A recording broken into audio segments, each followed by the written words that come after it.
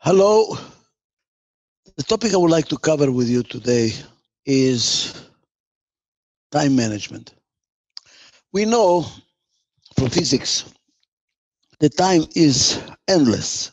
It was born with a big bang, and thereafter it will be ongoing and will go for who knows how much longer, endless. While time is limitless or endless, energy is fixed. And sometimes we confuse between the two.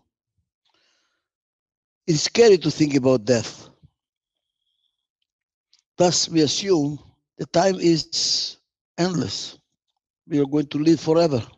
We only recognize the time is limited when we are on our deathbed. At our deathbed, we ask ourselves, what did we do with our life? On our deathbed, we recognize the value of life, which is time. I had this experience when my mother was dying. She was in a bad situation. And the doctor said, Look, we can continue keeping it alive, but it will be like a vegetable. Do you want that? And I said, No, I don't want it to continue suffering. Disconnect. Disconnect all the wires and all the tubes and let her die. And I was sitting next to her bed and she was looking at me. She could not talk. And I think she could see. And I realized what probably went through her mind. What would she give to keep alive another minute? What will we give to live another year? Everything, right? That's when somebody puts a gun to your head and says, Money in your life, you give them all your money because you want life. But energy is fixed. How do we allocate our energy to reflect? The time is also fixed.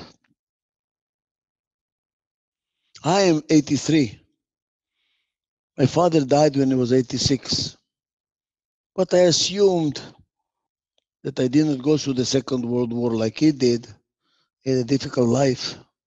I will live maybe several years more than him. Let's assume I will live up to 90. Although I think the last years are not going to be that enjoyable. You spend it mostly in hospitals and with doctors to keep alive. Let's assume I have net good five years left. It's only about 1700 days, 1800 days, 2000 days. Guys, if you really sit and ask yourself, how many days do you have? All at once, it becomes extremely valuable every day what you do. That's there is an expression live as if you are dead. Why? Because when you die, nothing matters anymore. Everything that you thought was so important when you were alive becomes useless when you die.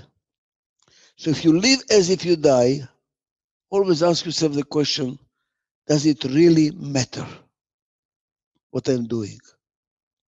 Does it really matter? Would anybody remember when I die? Would anybody care about it when I die? That will give you a filter to evaluate what you're doing, how you allocate your energy, which means allocate your time. Does it really matter? So, what matters the most? What matters the most? It continues after you die because it doesn't have time nor space limits. It's limitless. What is it? Love. Love knows no time limits, no space limits. And when you die, whatever you did with love during your lifetime continues. Your children remember the loving time they had with you. Your spouse will remember the loving time they had with you. If you did anything for the community, love continues. It perpetuates, it reproduces. Love counts. Babies that don't experience love do not grow healthy. They're emancipated. Put a person in a isolation, whatever it's called, cell in a prison. They commit suicide. The worst punishment you can have is isolation. Why? You have no love. Some prisoners fall in love with a bird that visits their window. Oh my God. Worthwhile living. People take dogs to raise. Why? Somebody to wiggle their tail and love you regardless of what you did to them the day before. They love you unconditionally. You need love when you come home. Somebody to love you when you come home. So, what's the most important thing to dedicate time to? Love. And starting with loving yourself. That's why you focus on the heart. That's why in my meditation, I recall the sense of sensation of love. By look by focusing on my heart, I want to feel love. And my continuous remembrance is how do I continue feeling love throughout the day? So the first priority in allocation of time is to love. Loving yourself first. Don't do damage to yourself. Eating the wrong food, not sleeping, not exercising, getting into destructive relationships, hating yourself, hating people around you. Love prolongs life, hate shortens life. Look at people that are in love, even if they're old, their eyes are shiny, full with energy. And look at people that hate. They look like a squeezed lemon. They're dying. So open your calendar. That's how you do it. You should budget time like you budget money. What percentage of your time? Assume there is a hundred percent time. Good. Well, some of it you have to sleep. Some of it is going to be for you're old, uh, you, you go to doctors, you know, maintaining your health. Of the time left, assume that's 100%.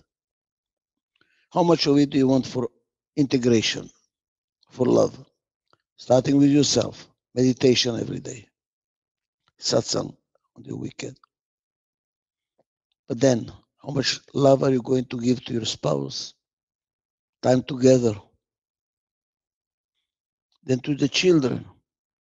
They start from the inside out. You first, family second. Children, time one on one. It's called quality time.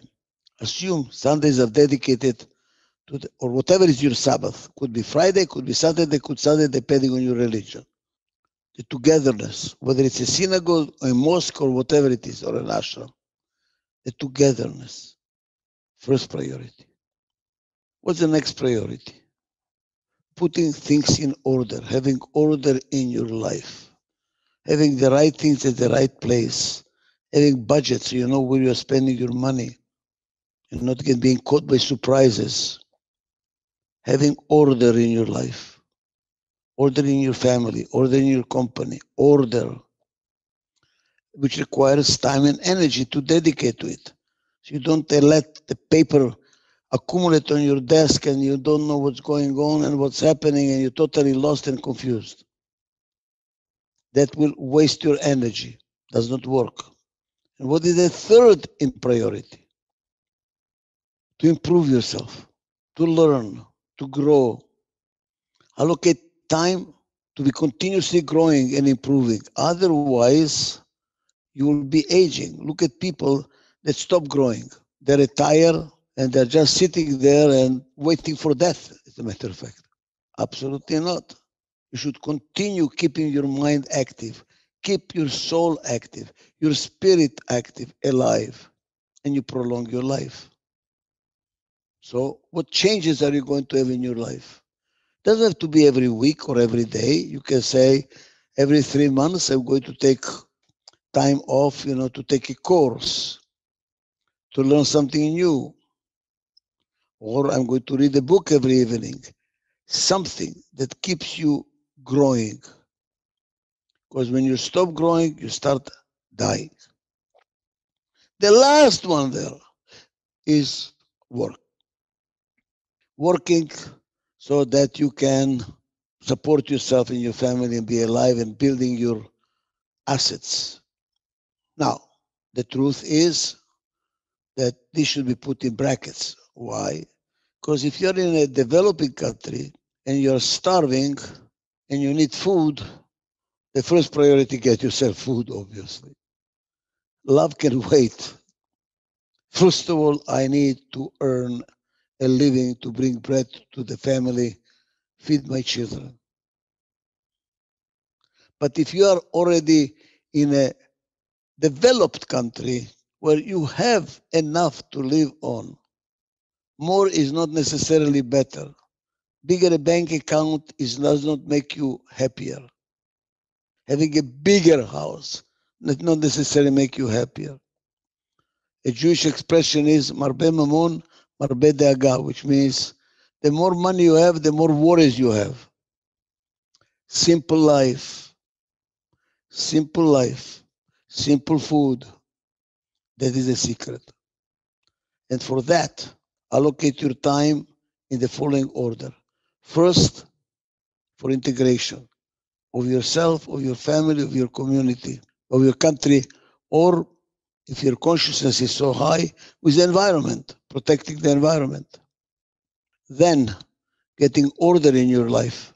Then, improving yourself and the last one is working for survival. Unless you're in a developed country, developing country and you're starving to death. This all should be put into the calendar. You have 100%, what percentage is for love, for integration, what percentage is for order, what percentage is for change, and what percentage is for working. And then you start allocating it on your calendar, like for integration, I'm going to take one long weekend a month. Stop work if you can afford it, depending if you are on your own or you self-employed or not. But take your vacations. And on vacations, I'm not going to take work with me. It's going to be, the purpose is for integration. Integrating myself, sleeping well, eating well, relaxing, relaxing with my family, put it in the calendar. And then let's say, when are you going to sit down and organize your papers and organize whatever you need to do, your budgets, your papers, the contracts, whatever you're doing? Let's assume every Monday morning. Let's assume if you're an executive, you have executive committee meeting. And then what percentage is for change? I'm going to take a course, going to read, whatever. And the rest of it for work. And then at the end of every month, you should compare what you budgeted to what you actually did. And there's always going to be deviation. And then ask yourself, how do I correct it next month? So that when you're in your deathbed, you don't say, ah, I built a big empire, left a lot of money for my children, but I don't know my children. Left a lot of money for my spouse, but I don't even know what her name is. Forgot who she is. Manage your life manage your time, or the problems will manage you. And at the end of your life, you will say, Ah, I missed the boat. Thank you.